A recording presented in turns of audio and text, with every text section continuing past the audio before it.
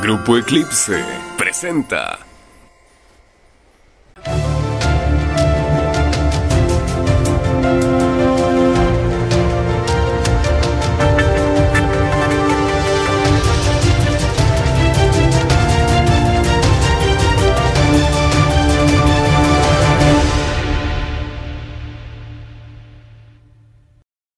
Que comience la fiesta, jueves 14 de diciembre del 2023 y a nombre de todo Grupo Eclipse queremos decir la palabra mágica, gracias, gracias por darnos la oportunidad de entrar a tu dispositivo móvil para que tome las mejores decisiones para que estés informado. Recuerda, estamos en grupoeclipse.com.mx y recuerda también que somos el único noticiero que transmitimos completamente en vivo donde se generan las noticias en las calles de la Blanca Mérida, Yucatán y en esta ocasión estamos en un lugar emblemático de la ciudad de Mérida, en el remate de Paseo de Montejo y a mis espaldas ya estamos listos para recibir la Navidad. Ya prácticamente estamos a un par de días, a un par de semanas, para que tú recibas al famoso Santa Claus, al famoso Niño Dios.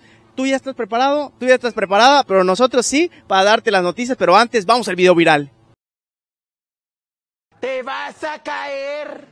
Te vas a caer, entiende que si te caes yo te voy a dar otro por menso. Ah, ¿Ves? ¿Ves? Te caíste. Ay, ya se cayó. Pues esto es lo que está en tendencia en las redes sociales, espero que lo hayas disfrutado muchísimo y ahora vamos a la nota principal, tercera llamada que comience las noticias y resulta que el gobernador Mauricio Vila Dosal le apuesta a los jóvenes estudiantes, para ser más específico, alrededor de 500, ¿para qué? Para que vayan a perfeccionar su inglés a Canadá y Estados Unidos. Te comparto los detalles ahora. Con el programa de movilidad internacional, 500 jóvenes podrán estudiar inglés en el extranjero con el impulso del gobernador Mauricio Vila Dosal. El gobernador Mauricio Vila Dosal dio inicio al programa de movilidad internacional 2024, con el que un total de 500 jóvenes sobresalientes de universidades públicas y privadas, en su mayoría mujeres y estudiantes del interior del estado, viajarán a prestigiosas universidades de Estados Unidos y Canadá para seguir preparándose y aprovechar las grandes oportunidades que se están presentando en Yucatán. El esquema estatal de este año también contempla brindar esta oportunidad a 50 docentes yucatecos de instituciones de educación básica, media superior y superior para fortalecer sus habilidades y metodologías de enseñanza del idioma en la Universidad de Lakehead durante una estancia de tres semanas en Canadá, así como se eligieron a cinco estudiantes de posgrado quienes estarán un año estudiando una maestría en la Universidad de Regina, también en Canadá. Otro personaje de la Navidad es el famoso Santa Claus, el, donde al final recibe todas las cartitas. Y aquí la pregunta que te tengo, ¿ya tienes la cartita para el Santa Claus? ¿Te portaste bien o te portaste mal? Comparte tus detalles, comparte lo que quieres esta Navidad. ¿En dónde? Estamos en Eclipse Radio, en Facebook. Pero otras de las personas que están apoyando y que también están haciendo todo lo mejor son los maestros de Tecom y Renan Barrera Concha. ¿Quieres saber los detalles? Te los comparto ahora. Renan Barrera, con certeza laboral ganan las y los maestros y con Renan gana Yucatán. La niñez yucateca merece más, por eso tenemos que trabajar para continuar mejorando la infraestructura educativa en todo Yucatán, manifestó Renan Barrera Concha, coordinador del equipo Yucatán por el Partido Acción Nacional, ante las y los maestros de educación indígena reunidos en el municipio de Tecom. A invitación de Enrique Cetina Flores, miembro magisterial indigenista, Barrera Concha acudió a estrechar lazos y escuchar las necesidades de este sector con el objetivo de trabajar en equipo para generar mejores condiciones laborales para las y los educadores indígenas y para preservar nuestra lengua materna. Alberto Góngora Góngora, organizador del encuentro, agradeció la asistencia y el interés del magisterio y de Renan Barrera para asistir a esta reunión para unir fuerzas. Amigos del interior del Estado, vamos en equipo con nuestro próximo gobernador. Mi camarada Santa Claus hace celebraciones, pero también el alcalde de Mérida, Alejandro Ruz, para agradecer a todos los del ayuntamiento en estas fiestas de la Guadalupana y sobre todo que se celebra que ya terminaron un año más de éxito. ¿Quieres saber los detalles? Te los comparto ahora. Con la finalidad de agradecer el esfuerzo de cada uno de los trabajadores de la Subdirección de Vías Terrestres de la Dirección de Obras Públicas, el ayuntamiento encabezado por Alejandro Ruz Castro ofreció una celebración guadalupana y de fin de año 2023 a quienes día a día brindan su mayor esfuerzo para que Mérida sea uno de los municipios con mejor infraestructura carretera En este encuentro de celebración por la conclusión de un exitoso año de trabajo, el presidente municipal reconoció la dedicación y compromiso de mujeres y hombres, por lo que propuso mantener esa unión y reflexionar para ser mejores personas, mejores servidores públicos y mejores ciudadanos.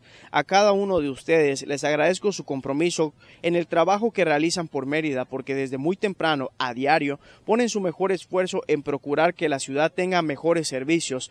Son jornadas muchas veces cansadas, bajo el sol, la lluvia, pero con la responsabilidad de su labor hacia su ciudad y por eso hoy les puedo asegurar que somos una gran familia que se llama Ayuntamiento, expresó. Pues te quiero hacer algunas invitaciones para que te la pases bien en estas fiestas decembrinas. Número uno, a que vayas a grupoeclipse.com.mx porque ahí vas a encontrar todo lo necesario para estas fiestas. Tenemos las mejores series, tenemos las mejores músicas para las posadas, para, ¿por qué no?, disfrutar con familia, disfrutar con los amigos, disfrutar en compañía de una rica bebida, una rica comida. La segunda, que vayas al Facebook, estamos como Eclipse Radio, ahí tenemos todos los noticieros para que tú estés informado. Y la tercera, que disfrutes de estos comerciales. Quédate con nosotros, estás en Eclipse Noticias, más cerca de ti.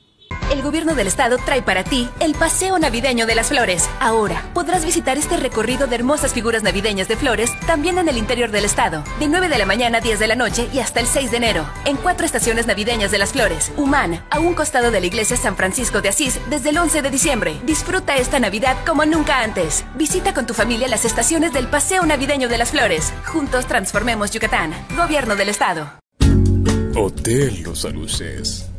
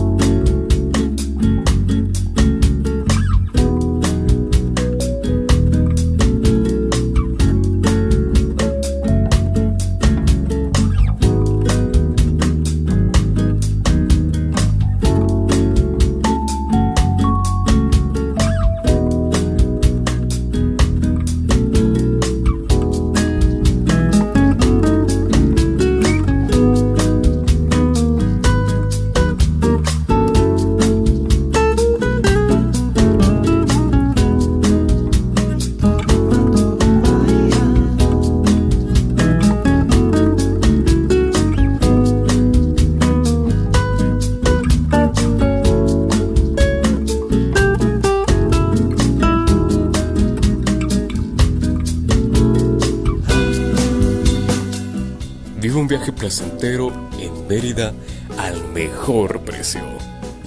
Diseñado para los que buscan tranquilidad, descanso y el máximo confort.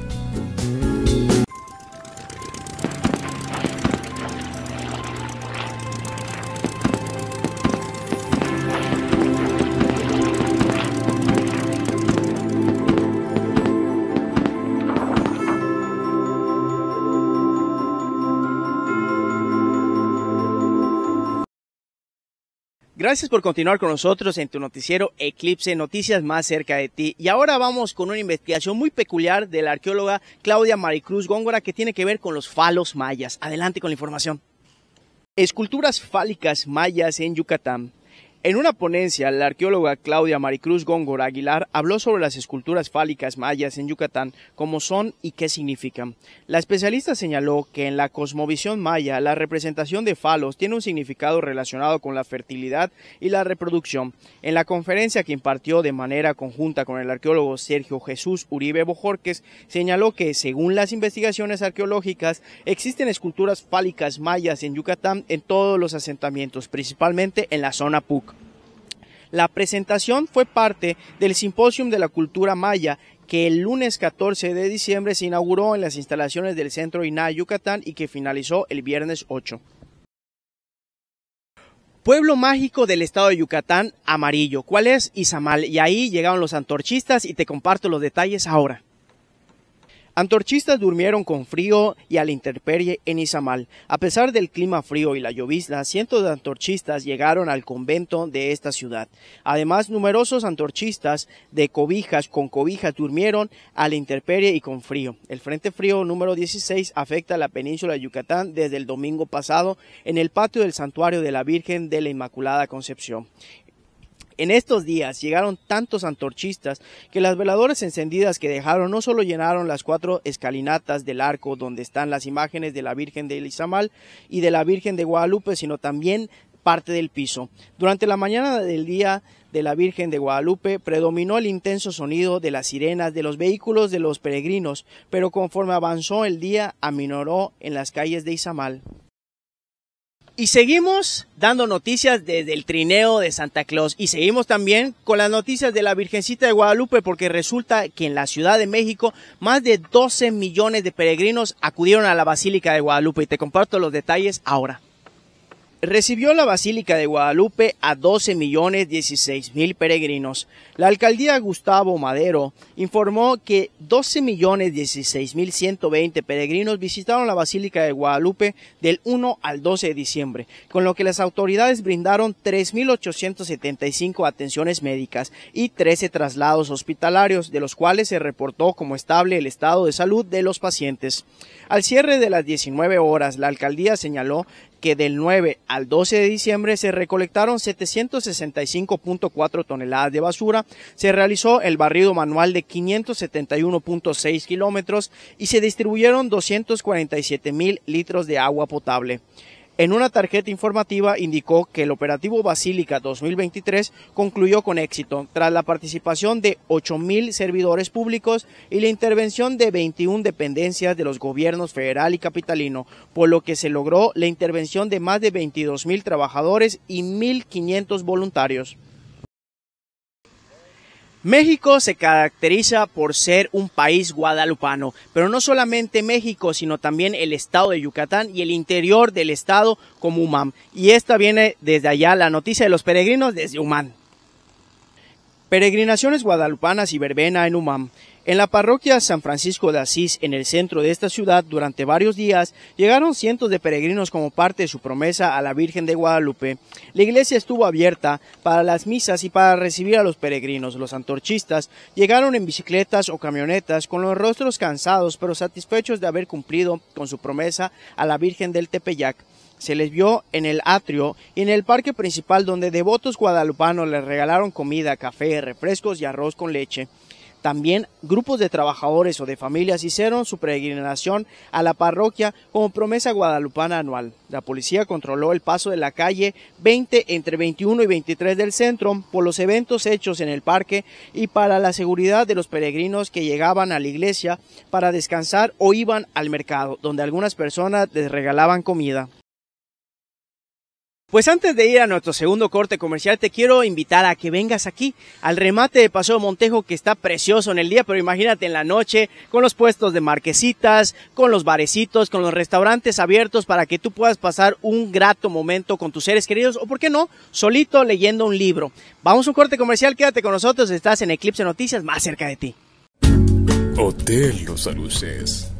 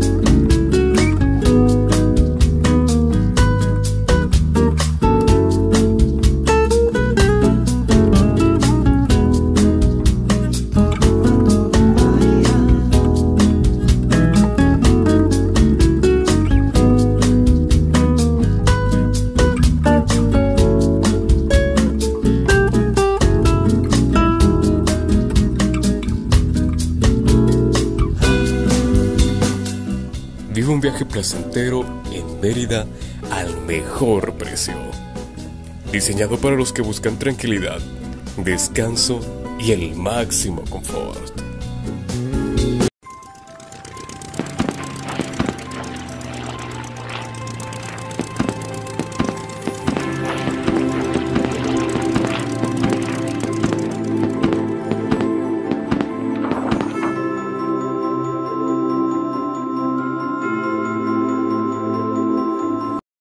La hatch de las noticias, como decimos los yucatecos, o la última, y esta tiene que ver con Biden y Zelensky y el apoyo que hace Estados Unidos a Ucrania de millones de dólares. ¿Quieres saber cuántos? Te los comparto ahora mismo.